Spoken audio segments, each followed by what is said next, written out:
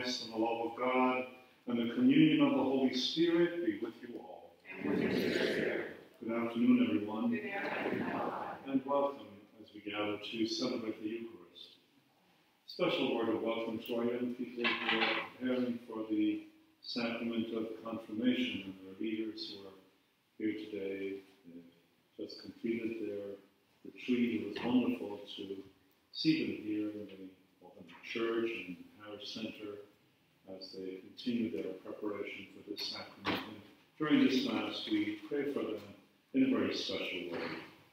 And so, as we begin our celebration, we pause for a few moments in silence, asking the Lord's mercy and forgiveness.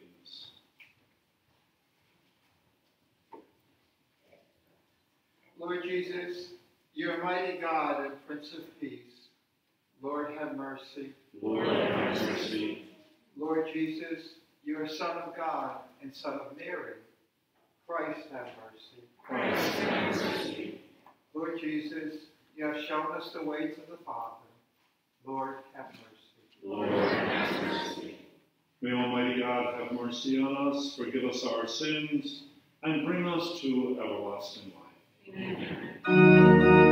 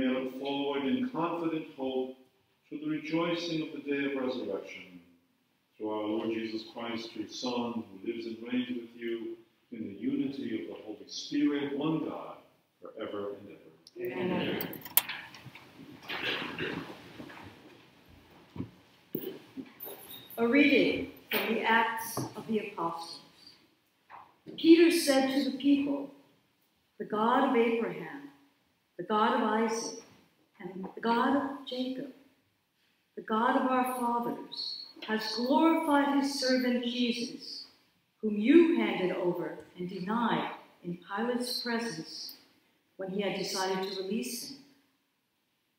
You denied the holy and righteous one and asked that a murderer be released to you. The author of life you put to death, but God raised him from the dead. Of this we are witnesses. Now I know, brothers, that you acted out of ignorance, just as your leaders did. But God has thus brought to fulfillment what he announced beforehand through the mouth of all the prophets, that his Christ would suffer. Repent, therefore, and be converted, that your sins may be wiped away. The word of the Lord. Thanks be to God.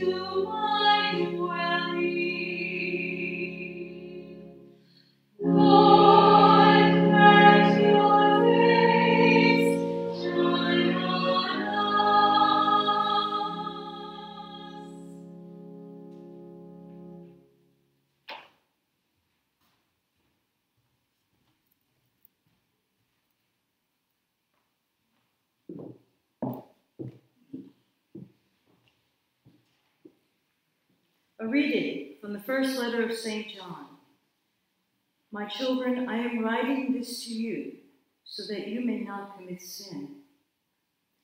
But if anyone does sin, we have an advocate with the Father, Jesus Christ, the righteous one. He is expiation of our sins, and not of our sins only, but of those of the whole world.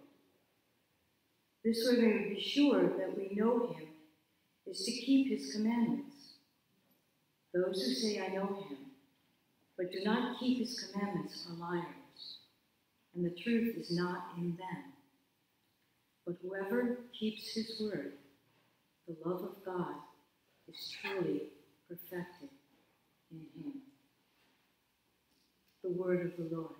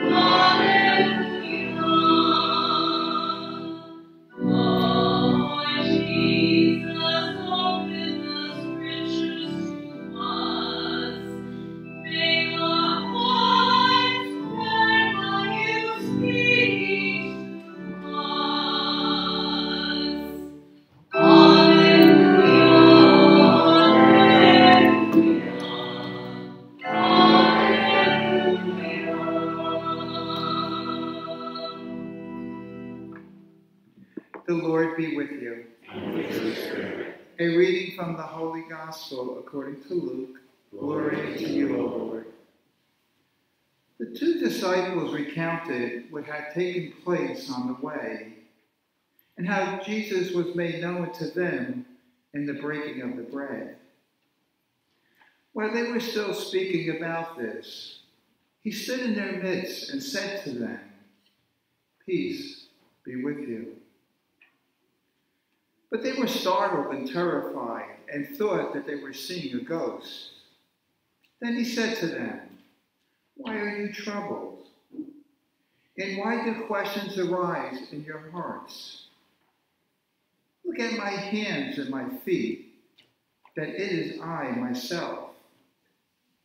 Touch me and see, because a ghost does not have flesh and bones, as you can see I have. And as I said this, he showed them his hands and his feet. While they were still incredulous for joy and were amazed, he asked them, Have you uh, have anything here to eat? They gave him a piece of baked fish. He took it and ate it in front of them. He said to them, These are my words that I spoke to you while I was still with you that everything written about me in the law of Moses and in the prophets and Psalms must be fulfilled. Then he opened their minds to understand the scriptures. And he said to them, Thus it is written that the Christ would suffer and rise from the dead on the third day, and that repentance for forgiveness of sins would be preached in his name to all the nations, beginning from Jerusalem. You are witnesses of these things. The Gospel of the Lord. Praise, Praise you, Lord Jesus.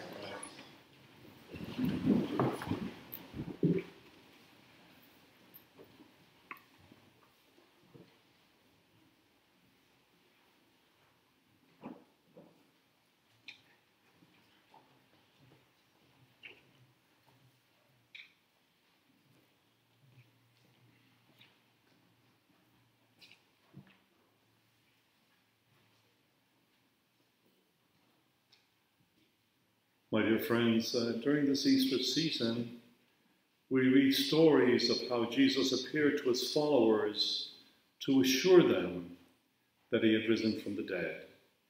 In the Gospel for today, he appears to his disciples who are huddled in the upper room, not daring to go out. The room was full of bitter sweet memories. It was here that Jesus washed their feet and celebrated the Last Supper with them. It was here that they promised their loyalty to him, but it was short lived.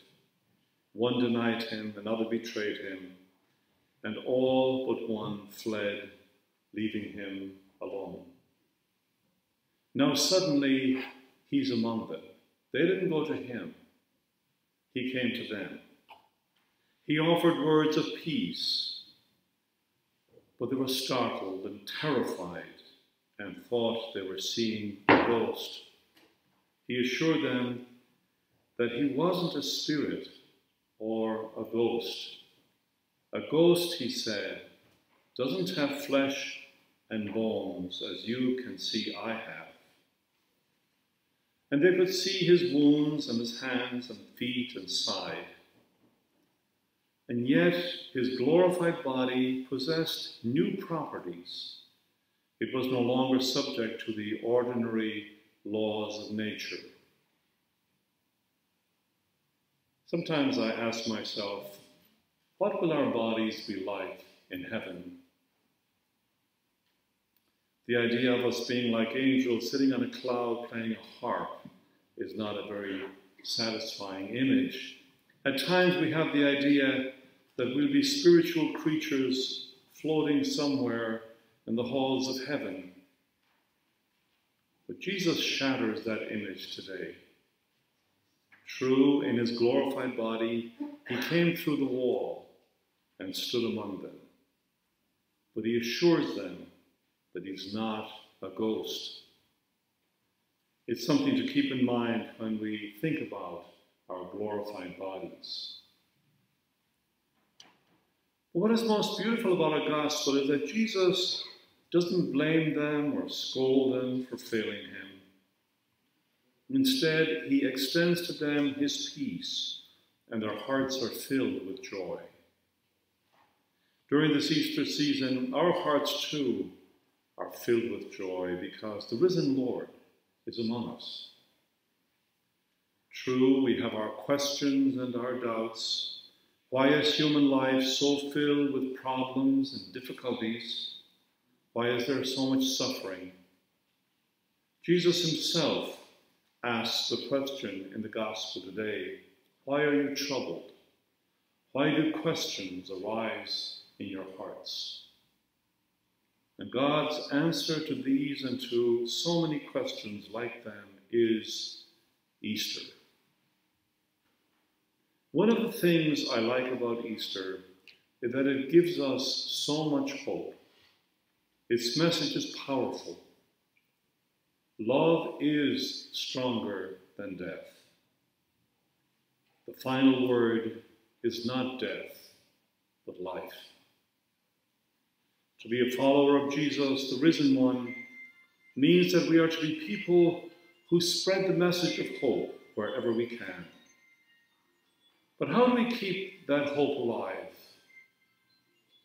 Jesus tells us by asking his disciples a seemingly odd question Have you anything to eat?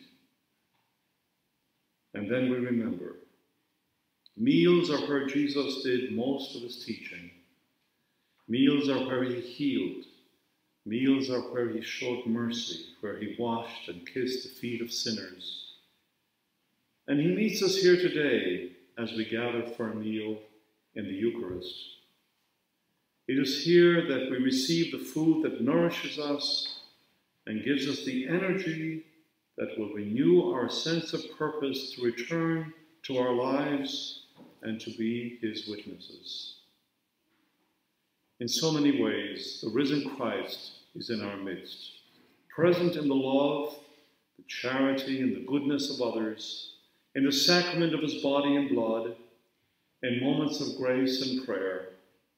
Sometimes we don't realize it. May our Easter celebration open our hearts and spirits to recognize Christ among us in every season of our lives.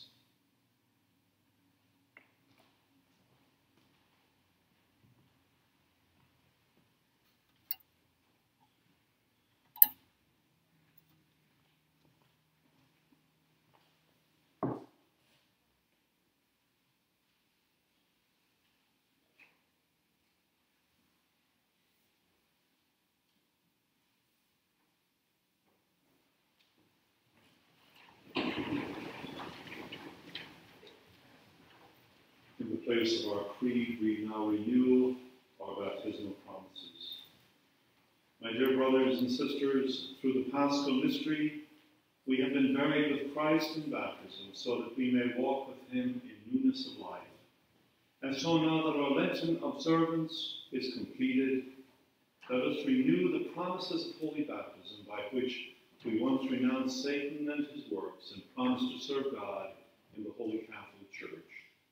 And so I ask you, do you renounce Satan I do. and all his works I do. and all his empty show? I do. Do you believe in God, the Father Almighty, creator of heaven and earth? I do. Do you believe in Jesus Christ, his only Son, our Lord, who was born of the Virgin Mary, suffered death and was buried, rose again from the dead, and is seated at the right hand of the Father? Do you believe in the Holy Spirit, the Holy Catholic Church, the communion of saints, the forgiveness of sins, the resurrection of the body, and life everlasting? Amen. And may Almighty God, the Father of our Lord Jesus Christ, who has given us new birth by water and the Holy Spirit, and bestowed on us forgiveness of our sins, keep us by his grace in Christ Jesus our Lord to eternal life. Amen. And now we are blessed with the Easter walk. Rain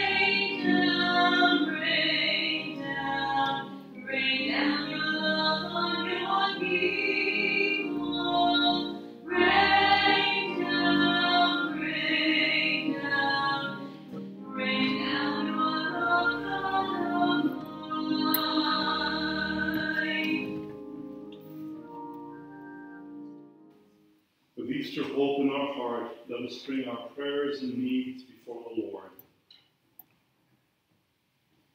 Our response this evening is Risen Lord, hear our prayer. For the Church, may she increase in grace and holiness during this Easter season. Let us pray to the Lord. Risen Lord, hear our prayer. For government leaders, that God bless their efforts to work for the betterment of all whom they serve. Let us pray to the Lord. Risen Lord, hear our prayer. In gratitude for doctors and scientists who have provided us with the COVID 19 vaccine and making it available to us, let us pray to the Lord. Risen Lord, hear our prayer. For the young people in our parish who are preparing for confirmation and First Eucharist, may they come to a deeper appreciation presence of God in their lives. Let us pray to the Lord.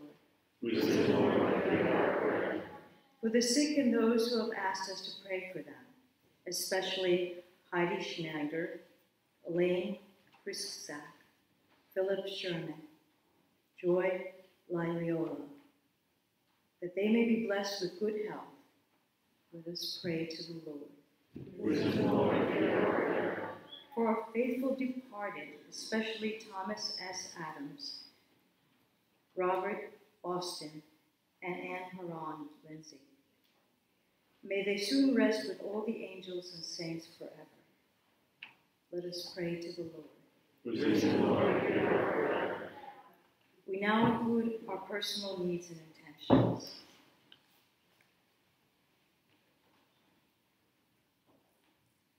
Let us pray to the Lord. Risen Lord, hear our prayer. Gracious God, listen to our prayers and answer them according to your will. Through Christ our Lord. Amen.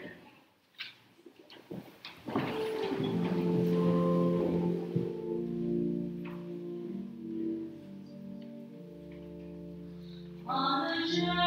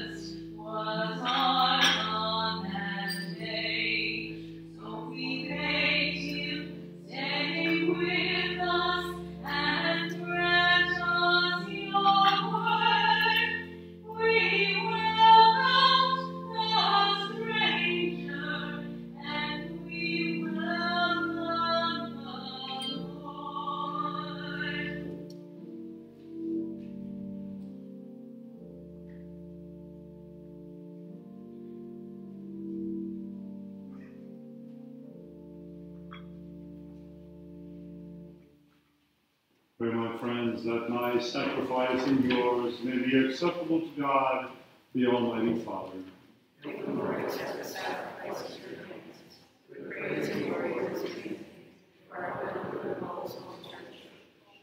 Receive, O Lord, we pray, these offerings of your exultant church, and as you have given cause for such great gladness, grant also that the gifts we bring may bear fruit in perpetual happiness through Christ our Lord. Amen. The Lord be with you. And with your spirit, Lift up your hearts. we lift them up to the Lord. Let us give thanks to the Lord our God. It is right It is truly right and just, our duty and our salvation, at all times to acclaim you, O Lord, but in this time above all, to laud you yet more gloriously, when Christ our Passover has been sacrificed. For he is the true Lamb has taken away the sins of the world. By dying, he has destroyed our death, and by rising, restored our life.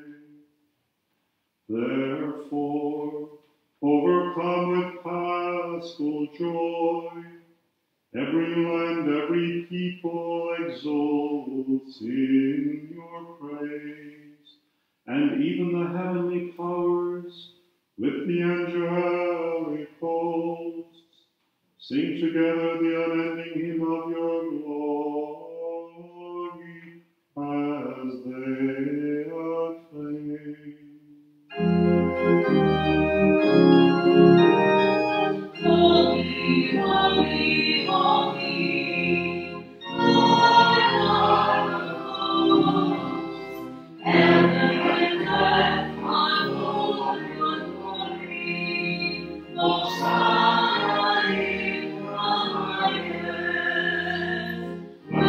Blessed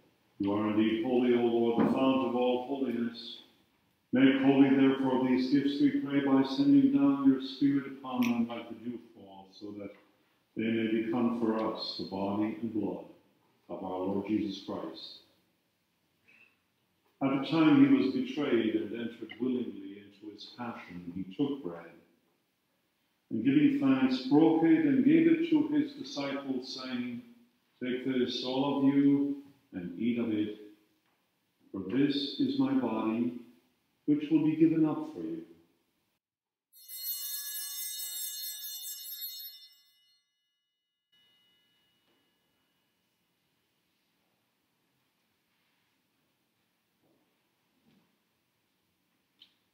In a similar way, when supper was ended, he took the chalice, and once more giving thanks, he gave it to his disciples, saying, Take this, all of you, and drink from it, for this is the chalice of my blood, the blood of the new and eternal covenant, which will be poured out for you and for many for the forgiveness of sins.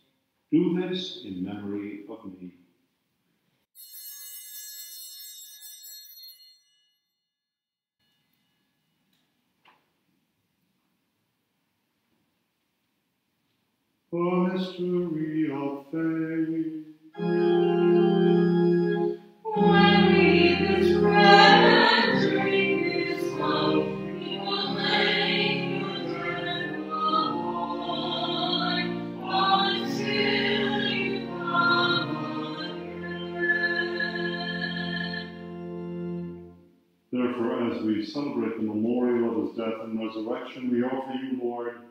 the bread of life and the chalice of salvation, giving thanks that you have held us worthy to be in your presence and minister to you.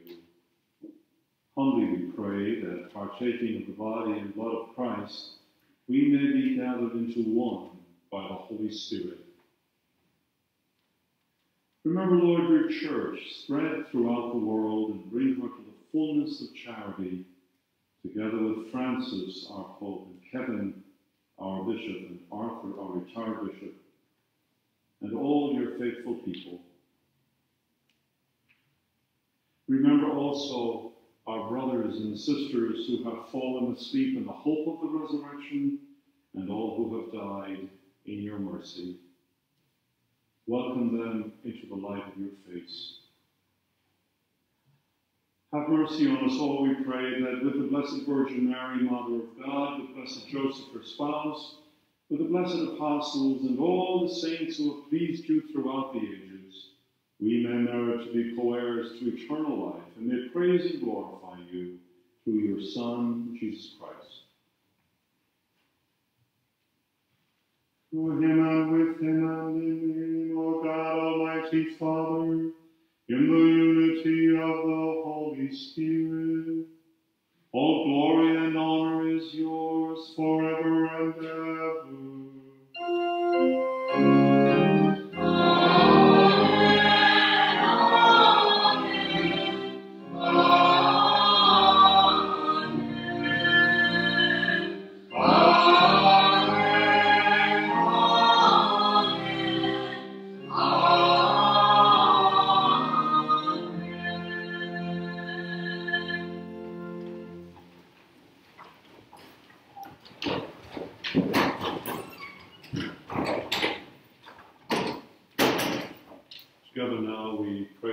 That Jesus taught us.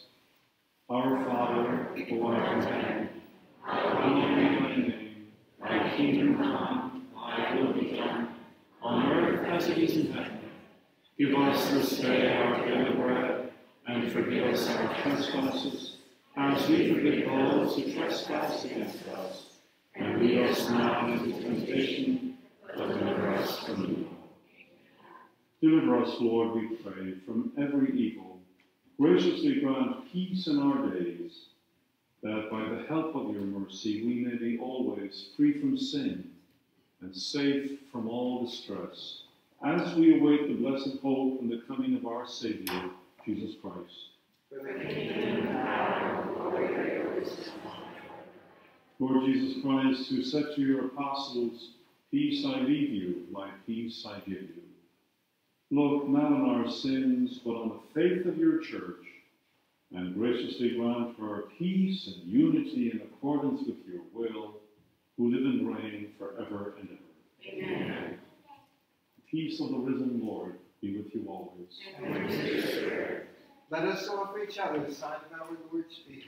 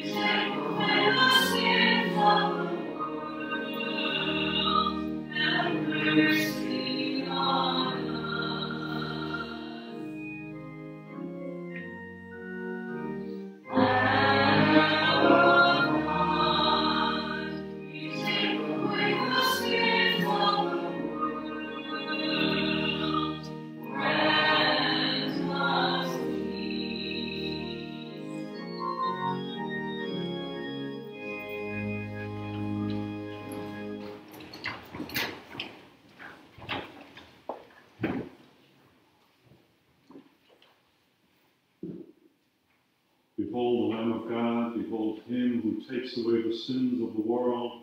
Blessed are those called to the supper of the Lamb. Lord, I am not worthy that you should enter under my roof, but only say the word, and all shall be healed. The body and blood of Christ keep us safe.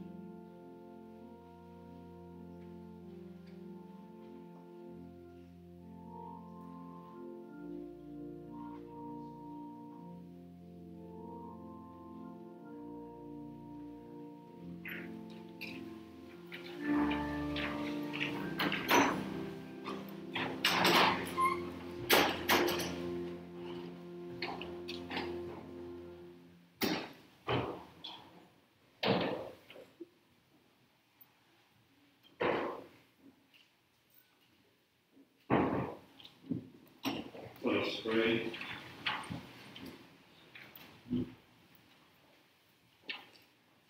Look with kindness upon your people, O Lord, and grant, we pray, that those you are pleased to renew by eternal mysteries may attain in their flesh the incorruptible glory of the resurrection through Christ our Lord. Amen. Please be seated for this moment.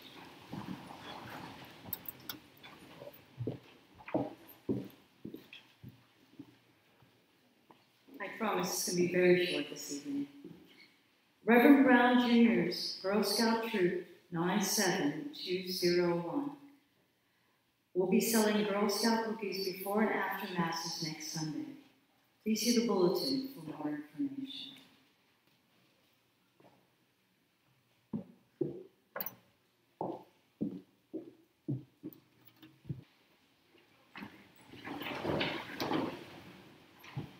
The Lord be with you. And with spirit. And the Almighty God bless you, Father, Son, and Holy Spirit.